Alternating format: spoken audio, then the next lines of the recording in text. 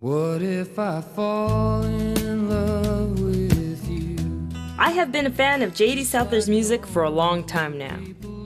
I was quite affected by the fact that Mr. Souther hadn't toured at all since the release of his 1984 album, Home by Dawn, for I myself wasn't born until 1985. My hopes of seeing JD in concert seemed faithless. When I heard in 2008 that JD was releasing his first studio effort in 24 years, I was very excited.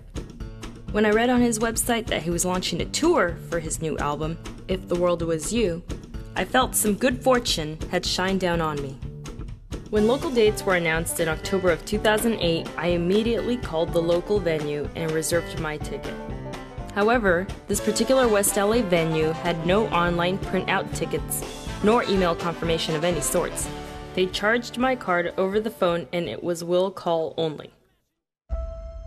Flash forward to the week of the show in December. I was excited all week to see JD. Thursday night, I go online to review details of the concert showtime, address of the venue, etc. When I see that the show was on Tuesday, I had missed the show completely. I was definitely standing in the Hall of Broken Dreams. Here, I had waited literally my entire life to see JD Souther in person, and I missed my chance. I honestly thought that he would never tour again. I considered this one of the most foolish mistakes of my musical life. After this immense disappointment, I frequented JD's website hoping to hear news of additional tour dates. In May of 2009, my luck took a turn for the better. JD was adding a new leg to his tour and would be back in my area next month. The trip to Orange County was well worth it. I was overwhelmed with feelings of gratitude and contentment as I watched JD perform his emotive compositions. He played all of his songs so beautifully, and the entire crowd was charmed with his sense of humor, down to earth attitude, and sincerity. I even had the chance to meet JD after his set.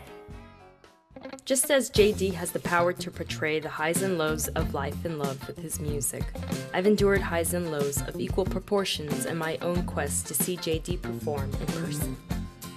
JD and his music mean the world to me, and I would like to commend him for the well deserved ASCAP Golden Note Award. Congratulations, JD. My guy that loves you so. If you didn't want me to tell